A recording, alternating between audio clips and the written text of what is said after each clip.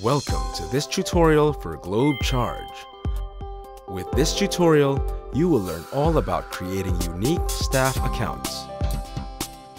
Globe Charge has this feature so that you can have several staff accounts under your merchant account. For example, if your business has several employees and you want each one to be able to use Globe Charge without having to share staff accounts and staff pins, you can give each employee his or her own staff account. Let's begin. Log in to the Globe Charge mobile app using your device that you've activated with Globe Charge previously.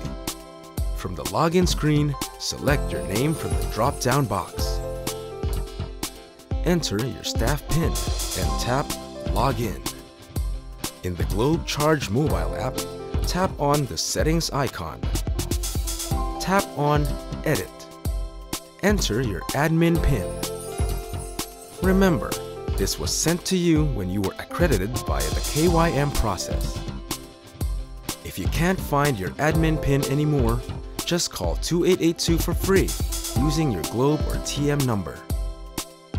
Tap on Submit. Tap Manage Staff. Tap Create New Staff. Now enter your staff members' details.